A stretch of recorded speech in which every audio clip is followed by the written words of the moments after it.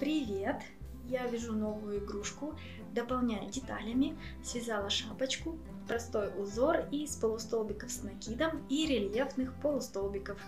В конце вязания осталось небольшое отверстие, я решила стянуть отверстие шапки при помощи иглы, вместо того, чтобы продолжать вязать убавки.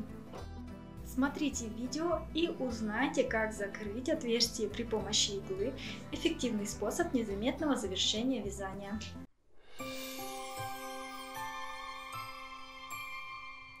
Обрежьте нить, конец оставьте длинный, вытяните петлю, вставьте конец нити в ушко гобеленовой иглы. Иглу завожу под переднюю стенку петли.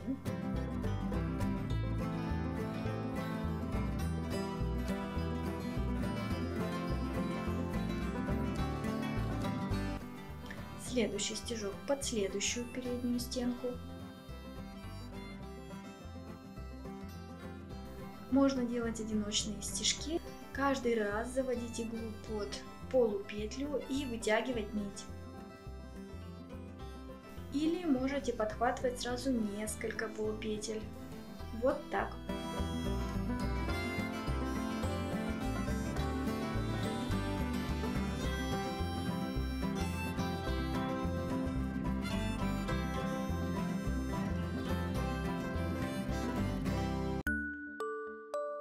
Протянули нить через все передние полупетли ряда.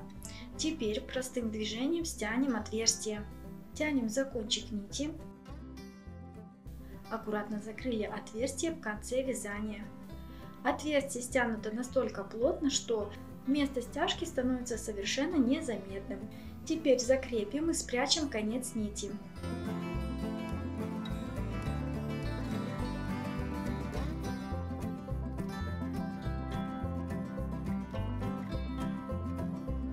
Цепляю ниточку внутри, делаю узелок. При помощи иглы протягиваю нить под петлями.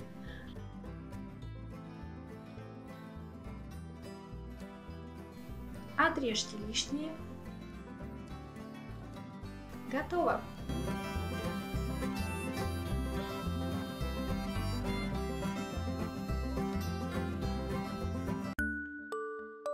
Этот прием работает при вязании не только шапок.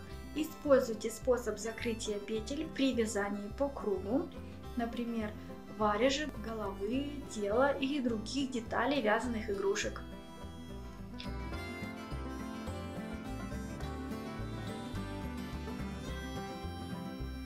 Стянутые петли в конце вязания выглядят как стянутое кольцо амигуруми.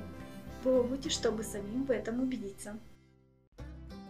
Обычно у деталей для амигуруми в конце вязания оставляю 6 или 8 столбиков без накида и плотно стягиваю петли. У шапок стягиваю отверстия, оставляя больше петель, если хочу получить выраженные складки. Например, как у этой шапочки, которую я связала для медвежонка.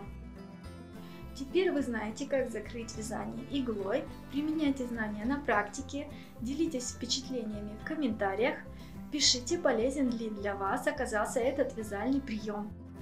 Подписывайтесь на канал, не пропустите другие вязальные хитрости. Всем пока!